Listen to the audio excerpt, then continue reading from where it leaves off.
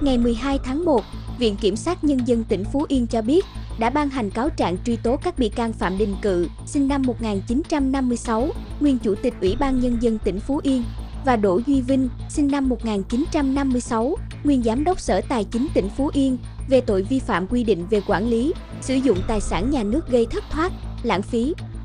Theo cáo trạng, tháng 9 năm 2007, Ủy ban Nhân dân tỉnh Phú Yên quyết định giao đất có thu tiền sử dụng đất, không thông qua đấu giá đối với 1.183 m2 đất thuộc ô phố A2, đường Hùng Vương, phường 6, thành phố Tuy Hòa, tỉnh Phú Yên cho công ty cổ phần Bimefaco để thực hiện dự án trung tâm kinh doanh dược, mỹ phẩm và dịch vụ y tế Phú Yên.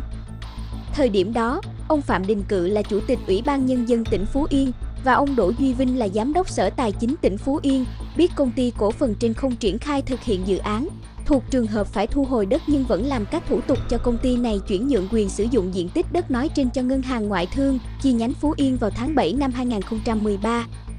Việc này gây thất thoát tài sản nhà nước với số tiền hơn 10 tỷ đồng.